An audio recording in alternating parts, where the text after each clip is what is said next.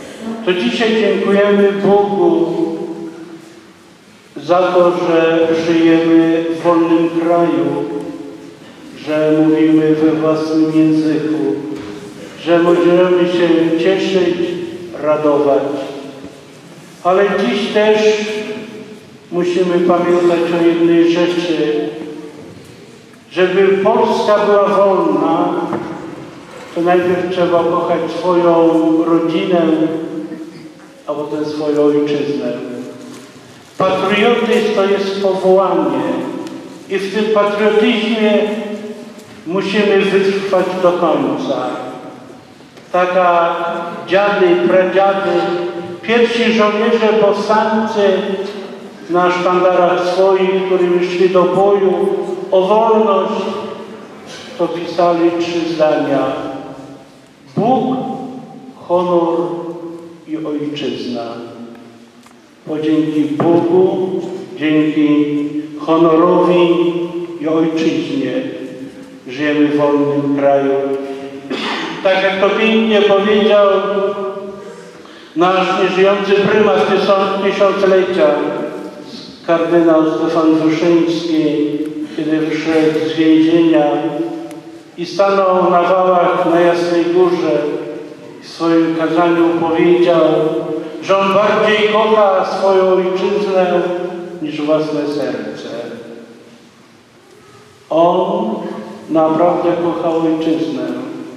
Nie dał się, żeby wyjechać z ojczyzny. Pozostał do końca i bronił tej ojczyzny. I dziś prośmy Boga, aby nasza ojczyzna nigdy nie wyrzekła się krzyża, Boga i Ewangelii. Moi drodzy, w naszym życiu trzeba czasami uklęknąć. Jako praktykujący chrześcijanie wiemy dobrze, że każdego dnia klękamy, aby spotkać się z Panem Bogiem na naszej codziennej modlitwie, na codziennym pacierzu. Moi drodzy, dzisiaj na klęczkach oddajemy cześć i hołd, ale przede wszystkim dziękujemy dobremu Bogu za przywróconą nam przed stu laty wolność, czyli niepodległość. W Dniu Święta Niepodległości przyszliśmy tutaj do naszego parafialnego kościoła, aby w sercu wyśpiewać Bogu radosne Tedeum. Ciebie Boga wysławiamy. Za dar niepodległości, która przyszła w tamten odległy listopadowy 1918 roku dzień. Przyszliśmy do parafialnego kościoła, bo jak pokazuje historia, przy ołtarzach kościołów naszej ojczyzny umacniał się duch wolnego narodu. Gdy komuś brakowało wolnej ojczyzny, przychodził do kościoła, bo tutaj zawsze mógł usłyszeć ojczysty polski język. Tu zawsze był skrawek polskiej kultury, skrawek niepodległości. Nawet wtedy, gdy Polska zniknęła na 123 lata z mapy Europy. I aby tą polskość zabić, aby stłumić dążenia niepodległościowe, kasowano zakony, zamykano seminaria, zabraniano kształcić przyszłych kapłanów i zakonników. Tak było zawsze, za czasów zaborów, za czasów okupacji hitlerowskiej, bolszewickiej, sowieckiej, za czasów Polski Ludowej. Tak to już jest w naszej ojczyźnie, że ten, kto chce zabić wolność, musi najpierw zburzyć ołtarze, czyli zniszczyć więź Polaków z Kościołem. Dziś, w setną rocznicę odzyskania niepodległości, nie można nie myśleć o Polsce, o naszej ojczyźnie. Wszak ostrzegał nas prymas tysiąclecia. Naród bez przeszłości jest godny współczucia. Naród, który jest, naród, który się jej wstydzi, który wychowuje młode pokolenia bez prawdziwej historii Polski, to naród renegatów. Przejmująco aktualne są dzisiaj słowa poety Jana Kasprowicza, które napisał prawie 100 lat temu. Żarto na moich wargach, niech dziś warga ma wyzna, jawi się krwią przepojony najdroższy wyraz ojczyzna, moja najdroższa ojczyzna. Właśnie, czy rzeczywiście ojczyzna jest nam najdroższa? Czy jest dzisiaj ona jakąś wartością? Czy patriotyzm nie jest jakimś przeżytkiem, jakimś wspomnieniem historii? Czy ojczyzna jest jeszcze warta naszego uczucia? Czy jest warta naszego ukochania? Czy jest sens zaprzątać głowę, zwłaszcza ludziom młodym, jakimś patriotyzmem? Czy na dźwięk słowa ojczyzna czujemy jeszcze dreszcz emocji? Czy bylibyśmy w stanie dla ojczyzny cierpieć, a nawet umrzeć? Jak się to ma do słów poety Ignacego Krasickiego? Święta miłości kochanej ojczyzny, czują Cię tylko umysły poczciwe. Nie wstydźmy się nigdy naszej ojczyzny. Nie wstydźmy się nigdy miłości ojczyzny. Jak bardzo Chrystus musiał kochać swoją ojczyznę Jerozolimę, skoro płakał nad jej zburzeniem przez Rzymian i zniszczeniem. Święty Jan Paweł II powtarzał za prymasem tysiąclecia, że po Bogu najbardziej kocha ojczyznę. Bądźmy zatem szlachetnie dumni ze swojej ojczyzny. Ojczyzna nasza matka jest piękna i wspaniała. Od samego Bałtyku aż po gór szczyty. My nie wiemy, co to znaczy, że na mapie, nie na mapie Europy nie można znaleźć Polski, naszej ojczyzny. Nasze prababci, nasi pradziadowie wiedzieli i dlatego chyba tak ją pokochali, tak ją umiłowali. I drodzy, kiedy myślimy i mówimy dzisiaj o Polsce, to chyba widzimy pierwszy krzyż postawiony na ziemi ojczystej i słyszymy te słowa Ojca Świętego Jana Pawła II, który w czasie pierwszej pielgrzymki do ojczyzny na Placu Zwycięstwa w Warszawie powiedział Kościół przyniósł Polsce Chrystusa, to znaczy klucz do zrozumienia naszych trudnych dziejów i tych wielkich bohaterów narodowych, którzy przeszli i przechodzą przez tę ziemię. Samo wyraził nasz wielki wieś, wieszcz Adam Mickiewicz, pisząc, że tylko pod tym krzyżem, tylko pod tym znakiem Polska jest Polską, a Polak Polakiem. Tą prawdę wiele razy zweryfikowała nasza trudna, ale zarazem piękna historia. To dlatego, kiedy papież Jan Paweł II wracał do Watykanu, nie krył swojego wielkiego wzruszenia i prosił Zanim stąd odejdę, proszę Was, abyście nigdy nie podcinali korzeni, z których wyrastamy. Dlatego ciągle trzeba przypominać nam słowa świętego Jana Pawła II, który wypowiedział w Zakopanem 6 czerwca 1997 roku. Nie wstydźcie się krzyża, brońcie krzyża. Nie pozwólcie, aby imię Boże było obrażane w naszych sercach, w życiu społecznym, w naszej ojczyźnie. Dziękujmy Bożej Opatrzności za to, że krzyż powrócił do szkół, urzędów publicznych, szpitali. Niech On tam pozostanie. Niech przypomina nam nasze chrześcijańskie korzenie, z których wyrosła nasza narodowa tożsamość. My, drodzy, kiedy myślimy i mówimy o naszej ojczyźnie, Polsce, to słyszymy te słowa, które zostały już dziś wyśpiewane. Bogu Rodzica Dziewica, Bogiem sławiena Maryja. To najstarsza pieśń religijna i zarazem najstarszy utwór pisany po polsku. Stał on się pierwszym hymnem Polski i pierwszą bojową pieśnią polskiego rycerstwa. Śpiewano tę pieśń pod Grunwaldem i na innych wielu polach bitew. Wykonywano podczas koronacji królów, a ludzie ją śpiewali w ważnych momentach życia osobistego. Nic więc dziwnego, że Bogu Rodzica Dziewica, Bogiem sławiena Maryja została ogłoszona przez Jana Kazimierza, króla Polski, naszą królową, królową Polski. I jeśli chcemy zrozumieć nasze dzieje, to chyba musimy, jak mówił święty Jan Paweł II, iść na Jasną Górę, bo tam wieje serce narodu w sercu Matki. Moi drodzy, wiele razy biło jękiem cierpień milionów Polaków, ale moi drodzy, również bije i był, biło okrzykiem radości i okrzykiem zwycięstwa.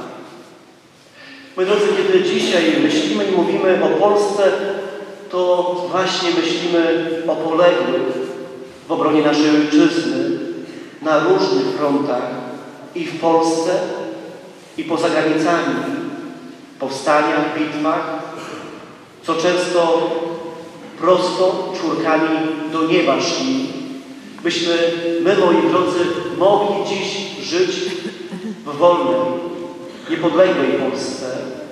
Cała historia naszego zmagania o niepodległość wypełniona jest tysiącami bohaterów, którzy oddawali i odda, oddają swoje życie za naszą wolność, za dzisiejszą naszą wolność. Tym właśnie bohaterom oddajemy dziś cześć i należny szacunek. Bo jak pisał Jan Kochanowski, jeśli komu droga otwarta do nieba, to tym, co służą ojczyźnie. Moi drodzy, nie wolno nam, myśląc o przyszłości, odcinać się od przeszłości.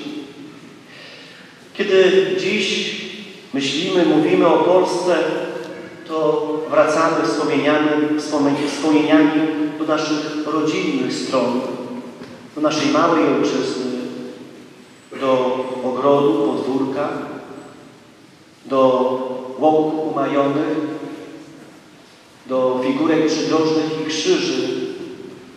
Moja ojczyzna to, to szkoła, boisko szkolne, to kościół parafialny, cmentarz, to mój ksiądz proboszcz, roraty, rezurekcja, to bijące dzwony.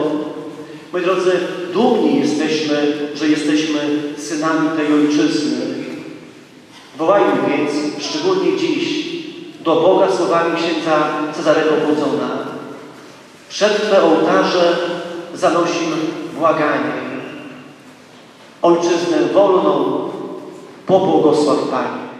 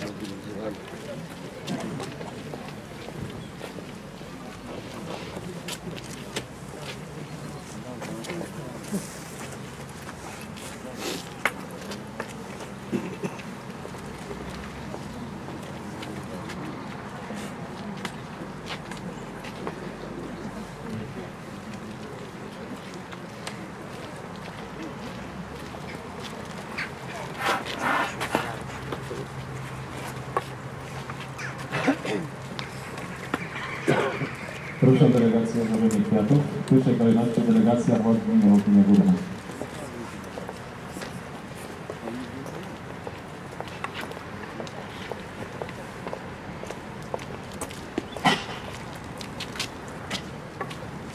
Oczy sztandarowe? Chodź!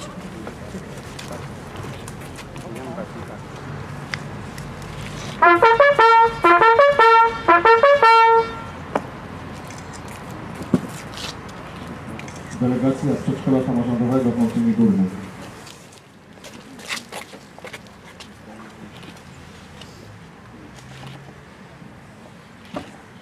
Delegacja szkoły podstawowej w Wilnie.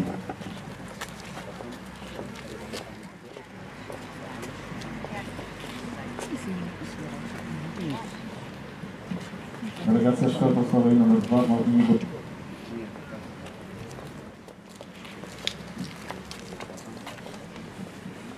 Delegacja Szkoły Podstawowej w Krestyni.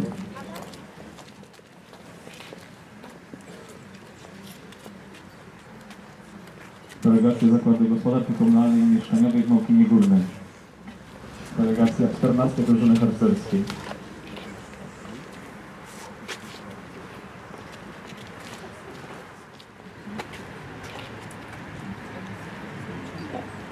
Delegacja NSZZ Solidarność 80 roku Polska. Delegacja Nadleśnictwa Ostróg Mazowiecka.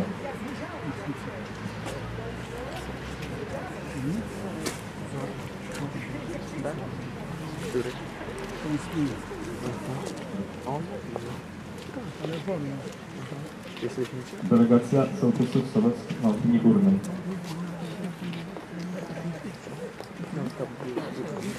Спасибо.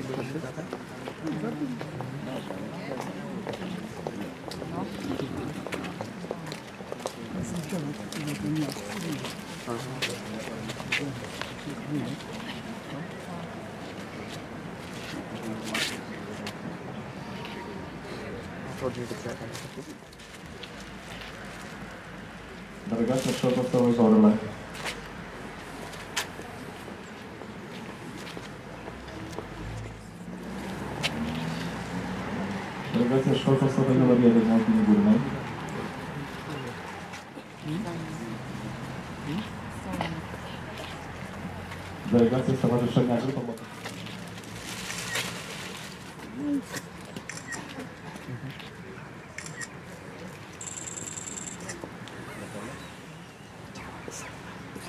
Poczty sztandarowe, bądź!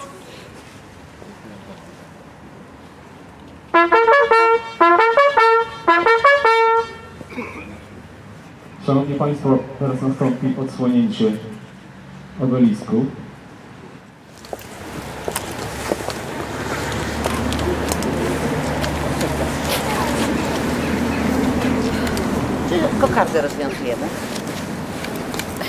Trudno będzie, bo to cztery.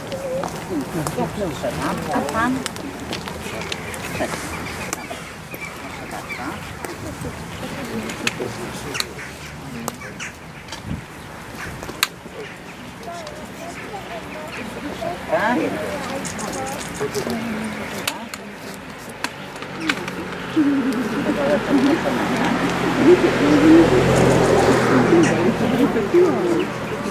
Proszę bardzo. Tak. Jeszcze gdzie? Kawałeczek. Już naszym kartę.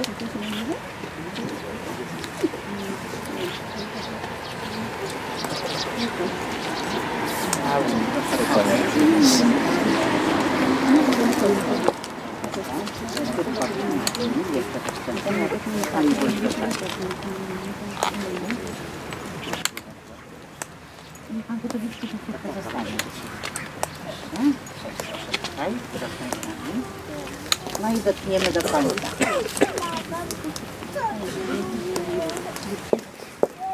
Państwo, brawo.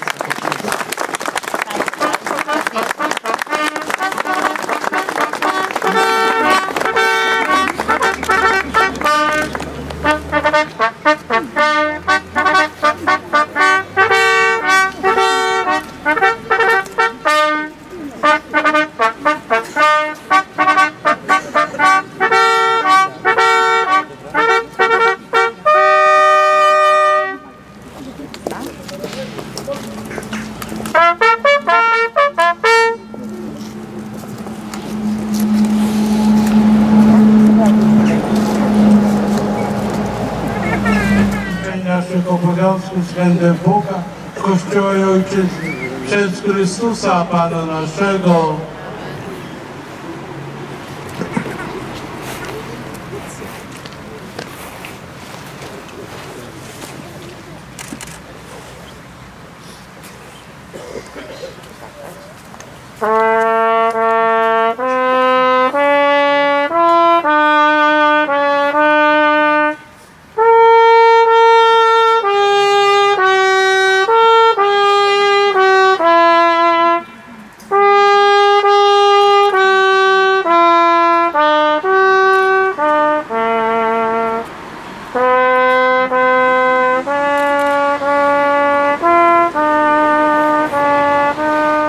sztandarowe sztandary wyprowadzić. Sztandarowe, chodź! Łączne sztandarowe, za mną, chodź!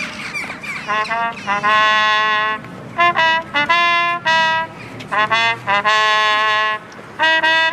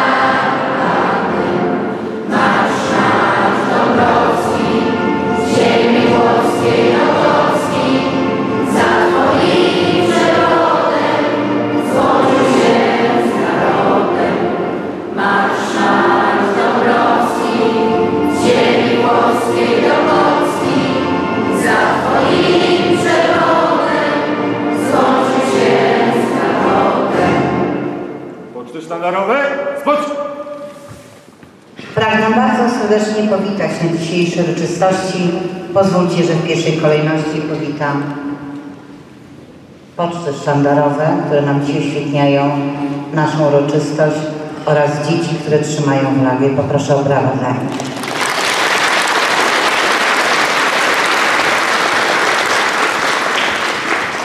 Pragnę bardzo serdecznie powitać radnych Rady Powiatu Ostrowskiego kadencji 2014-2018, wszystkich, którzy są na sali. Widziałam pana Grzegorza Rostkowskiego, nie wiem czy jest pan Stefan Rostkowski i pan Rafalik Dariusz ale witam serdecznie.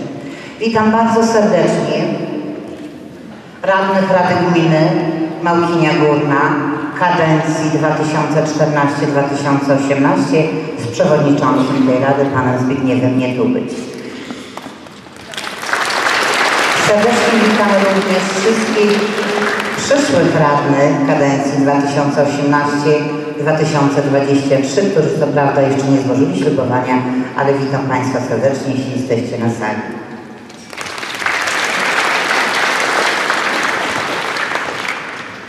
Witam serdecznie skarbnika gminy, panią Krystynę Wetoszka i sekretarza gminy, pana Dariusza Chmielewskiego. Witam prezesa Zakładu Gospodarki Komunalnej, pana Michała Perzynę. Witam kierowników referatów organizacyjnych Urzędu Gminy oraz pracowników Urzędu Gminy. Witam dyrektora biblioteki, panią Lidię Kowińską, dyrektora Gminnego Ośrodka Kultury, pana Andrzeja Sadowskiego, kierownika OPS-u, panią Katarzynę Sobieską. Witam serdecznie dyrektorów wszystkich szkół gminnych i dyrektora przedszkola. Pozwólcie Państwo, że już tak ogólnie. Y, Witam również bardzo serdecznie dyrektora Zespołu Szkół im. Stanisława Staszica, panią Agnieszkę Gaś razem z nauczycielami zespołu i pracownikami Zespołu Szkół im. Stanisława Staszica. Witam Państwa serdecznie.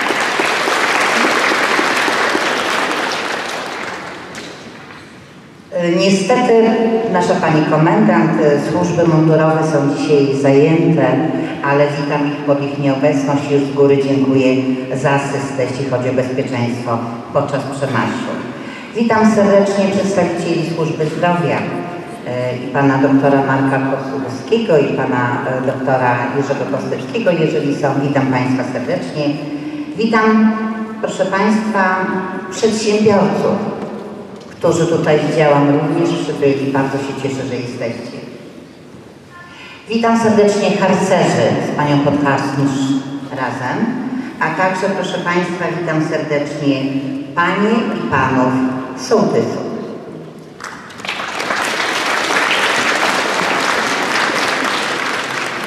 Witam dzieci, witam młodzież, ale przede wszystkim witam Państwa, drodzy mieszkańcy, że przybyliście dzisiaj, żeby z nami wspólnie świętować i cieszyć się. Cieszyć się, że możemy, proszę Państwa, żyć w tak pięknych czasach. Tak jak powiedziałam w Kościele, raz na 100 lat jest taki dzień. Czujcie się Państwo wybrańcami tej historii, która dała Wam, nam żyć przy tak pięknym jubileuszu. Ja proszę Państwa czuję się także wybrańcem jako gospodarz gminy, że mogłam w tej kadencji minionej trzymać stery tej gminy w swoich rękach i również czuję się zaszczycona, że Państwo powierzyliście mi stery na następne pięć lat. Czuję się z tego powodu również bardzo wyróżniona i serdecznie Państwu dziękuję.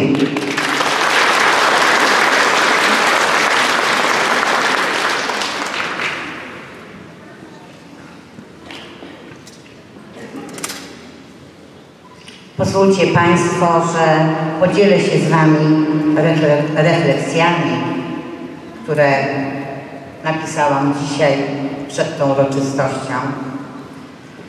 Szanowni mieszkańcy, jesteśmy dzisiaj tutaj dla naszej najpiękniejszej, najwspanialszej jubilatki, dla naszej umiłowanej ojczyzny. Wspólne przeżywanie setnej rocznicy odzyskania przez Polskę niepodległości dane jest niewielu pokoleniom. Mamy ten nieoceniony przywilej wspólnego świętowania tej pięknej setnej rocznicy odzyskania przez Polskę niepodległości.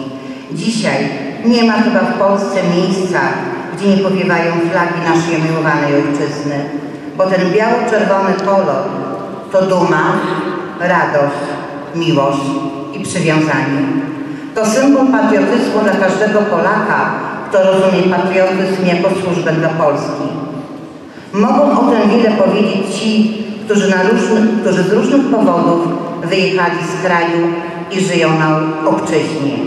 Dla nich ten biało-czerwony kolor ma magiczne znaczenie, bo gdy powiewa flaga Polski, gdy wybrzmi Mazurek Dąbrowskiego, niejedna łza spływa po ich policzkach. 11 listopada 2018 roku, cóż to była za radość? Po 123 latach niewoli na mapie Europy pojawiła się Polska. I chociaż była straszna bieda, ludzie głodowali, brakowało podstawowych produktów do życia, kraj był wyniszczony, do tego dnia mało kto o tym myślał. Polacy cieszyli się jak małe dzieci. Ich serca przepełniała wielka nadzieja i wiara, że wreszcie będą żyć w wolnym kraju. Polska niepodległość ma wielu ojców. W szczególny sposób wyróżniają się dokonania Józefa Piłsudskiego, Romana Dmowskiego, Inacego Jana Paderewskiego, Wincentego Witosa, Wojciecha Konfantego Ignacego Daszyńskiego. Ich zaangażowanie na frontach I wojny światowej, działalność dyplomatyczna, polityczna i społeczna doprowadziły do powstania II Rzeczypospolitej. Przytoczenie tych nazwisk jest pewnym uproszczeniem, bowiem wśród zasłużonych dla niepodległej jest jeszcze bardzo, bardzo wielu wybitnych Polaków. Jednak dzieje tych sześciu postaci dobrze ilustrują meandry polskiej drogi do niepodległości. Do niepodległości. Dzisiejsze święto to także ważny moment, proszę Państwa, na refleksję, na wnioski z historii. Po to, aby nigdy tragedia wojen nie położyła się cieniem na nasze rodziny, na bliskich, przyjaciół, na nas. Historia Polski jest naznaczona krzyżami. Wiele bezimiennych mowił rozsianych jest po całym kraju i one przypominają nam o tym, że wiele matek i ojców straciło synów i córki, często kilkunastoletnich, którzy w różnych okolicznościach bili się o wolną Polskę. Postęp cywilizacyjny, który stał się znakiem firmowym Europy XIX i XX wieku, nie uchronił nas od najgorszych doświadczeń martyrologii naszego narodu. Dwie okrutne ideologie, nacjonalistyczna i bolszewicka, drążyły nasz kraj, powodując ogromne spustoszenie moralne i ludzkie. Czy musiało zginąć aż 6 milionów Polaków, aby świat zrozumiał, że obozy zagłady, które powstały w Polsce, to najtragiczniejszy wytwór przywódców z chorą wyobraźnią? Czy trzeba było, aby komunistyczna i socjalistyczna ideologia toczyła się jak gangrena w sercach i umysłach Polaków, pozbawiała nas tradycji, wiary i tożsamości narodowej? Doświadczenia, które nas doprowadziły do 11 listopada 2018 roku oraz do dzisiejszej rocznicy niosły ze sobą olbrzymie pokłady siły i wiary narodu polskiego. Tak było po zakończeniu II wojny światowej, kiedy polski naród tak mężnie przystąpił do odbudowy kraju. I tak było, kiedy Komitet Obrony Robotnika, a potem cały ruch solidarnościowy doprowadził nas do wolnych wyborów w czerwcu 1989 roku. Pamiętajmy o naszych bohaterach narodowych, o ojcach niepodległości. Pamiętajmy o żołnierzach, którzy zginęli na polu walki. Pamiętajmy o tych, którzy spoczęli w bezimiennych mogiłach. Ojciec Święty Jan Paweł II, który tak bardzo miłował Was, droga młodzieży, mówił, że polska rodzina to podstawa, to fundament państwa polskiego. Pamiętajmy o dzielnych kobietach, które przekazywały najważniejsze wartości narodowe swoim dzieciom i wspólnie z mężami dbali o nasze dziedzictwo narodowe. Jubileusz stulecia świętujemy cały rok 2018. Dzięki temu mam nadzieję, że dotarliśmy do każdego mieszkańca gminy Małkinia Górna, mieszkańca naszej małej ojczyzny i zachęciliśmy do wspólnego świętowania. Drodzy Państwo, serdecznie dziękuję za wiele działań, które zostały podjęte w roku niepodległej. Dla mnie szczególnie inspirujące były spotkania z dziećmi i młodzieżą. To Wy, drodzy młodzi ludzie, wkrótce będziecie współdecydować i decydować o przyszłości naszego kraju. Ale troska o wolność to wyzwanie dla wszystkich pokoleń i wszystkich grup społecznych. Nasze zadania, które stoją przed nami, można skategoryzować jako cztery. Troska o pamięć, bo społeczeństwo, które o to dba, buduje filary do harmonijnego rozwoju państwa. Gminne hasło Niepodległa łączy pokolenia to nasze zobowiązanie do troski o tę pamięć. Drugim wyzwaniem to jest wolność osobista. Tylko wolny człowiek jest zdolny do niezależnego myślenia. Niezależność jest determinantem najpiękniejszych wartości i podstawą mądrej i wolnej myśli narodu. Trzecim naszym wielkim zadaniem jest troska o kulturę, która jest wielkim wychowawcą każdego narodu. Dzieła wielkich Polaków to nasze narodowe dziedzictwo, to nasza duma i tożsamość narodowa. Czwartym naszym zadaniem powinna być troska o wiarę. Wiara jest bowiem drogą do stałości i równomiernego rozwoju pojedynczego człowieka i całego społeczeństwa. Sądzę, że jeżeli uda nam się wcielić w życie te cztery zasady, nikt nigdy nam wolności nie odbierze. Dlatego, Szanowni Państwo, na okoliczność dzisiejszego spotkania życzę Państwu, żeby w roku niepodległej pojawiło się w Waszym życiu zawodowym i osobistym jak najwięcej sukcesów. Życzę, aby miłość do naszej miłowanej Ojczyzny była zawsze tak wielka, jak wielka jest miłość matki i ojca do swojego dziecka. Niech żyje niepodległa, niech żyje Polska.